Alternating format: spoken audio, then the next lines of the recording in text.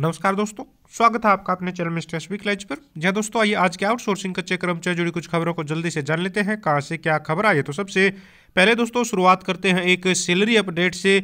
कल देर शाम को, जी हाँ यहाँ पर आप लोग देख पा रहे हैं, नौ बजकर चौदह मिनट अड़तालीस सेकंड पर दोस्तों, देर शाम को यहाँ पर पब्लिक हेल्थ इंजीनियरिंग डिपार्टमेंट जी हाँ कैथल की दोस्तों सैलरी जारी कर दी गई है। यहाँ पर आप लोग देख पाएँगे, कौशल रोज़गार निगम की तरफ़ से चौदह हज़ार दो सौ सत्तानवे रुपये यहाँ पर क्रेडिट कर दिए गए हैं। देर शाम को ये सैलरी जारी की गई है public health engineering department Kaithal की। जी हाँ आगे बढ़ते हैं, देख लेते हैं खबर है डबवाली से।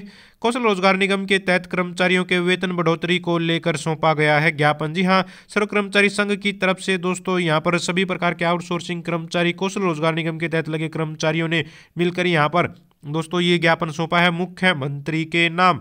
तो इन्होंने यहाँ पर दोस्तों अपनी सभी मांगों को लेकर ये ज्ञापन सौंपा है, जिसमें प्रमुख रूप से बताया गया है कि कौशल रोज़गार निगम को भंग करके कच्चे कर्मचारी को सीधा पक्का किया जाए और इतने लंबे समय से जो कर्मचारी काम कर रहे हैं, उनको नीति बनाकर, पॉलिसी बनाकर दोस्तों पक्का किया जाए। यहाँ पर बता दें आप लोगों को कि सर्व कर्मचारी संघ हरियाणा के आह्वान पर यह ज्ञापन सौंपा गया है।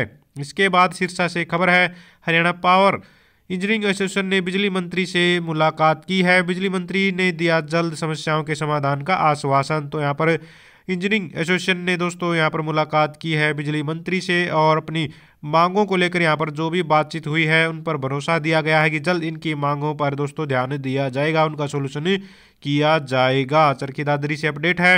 वेतन नहीं मिलने पर कर्मचारियों ने बीडीपीओ कार्यालय के गेट के सामने किया है प्रदर्शन।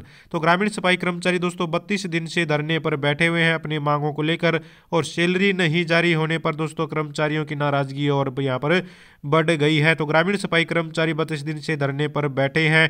कर्मचारियों को पक्का करने की मांग को लेकर छब्बीस हज़ार रुपये न्यूनतम वेतन लागू करवाने की मांग को लेकर करनाल में भी आप लोग देख पाएँगे।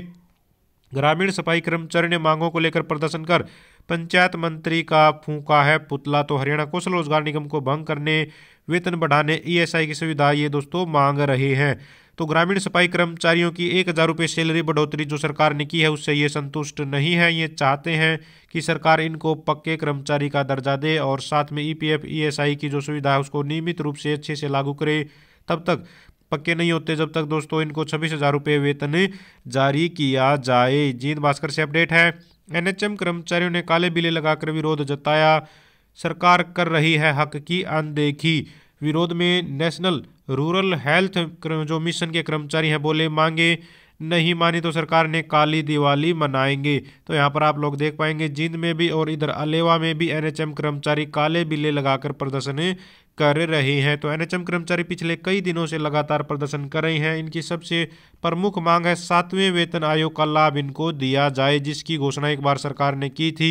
शायद 2021 में जो है, ट्विटर के माध्यम से यहाँ पर एक ट्वीट किया गया था। यहाँ पर शायद मुख्यमंत्री की तरफ़ से तो तब ये जो खुशी मनाई गई थी, वो खुशी आज तक पूरी नहीं हुई है। बाद में उस पर दोस्तों रोक लगा दी गई और अब क्या है, क्या नहीं, उसके बारे में कुछ भी जानकारी अपडेट नहीं निकल कर सामने आ रही है। सातवें वेतन आयोग का लाभ मिलेगा, नहीं मिलेगा, फ़िलहाल तक उस पर कोई अपडेट नहीं है।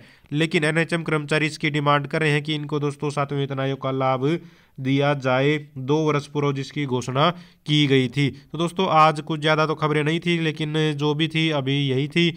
आगे अपडेट जारी रहेंगी, जो भी आएगी आप तक ज़रूर पहुँचाने की कोशिश करेंगे। तो ये थी सारी की सारी आज की आउटसोर्सिंग कच्चे कर्मचारी जुड़ी खबरें। अगर आप भी चाहते हैं हरियाणा में एजुकेशन से रिलेटेड कच्चे कर्मचारी जुड़ी खबरें समय पर पाना तो चैनल को ज़रूर सब्सक्राइब करें।